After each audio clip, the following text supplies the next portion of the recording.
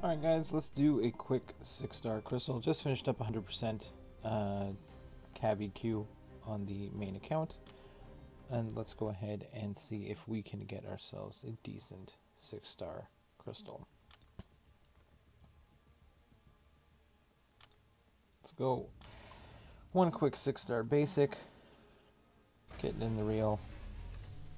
Can we get anything decent? Something new or a high rank dupe. Always what we're looking for.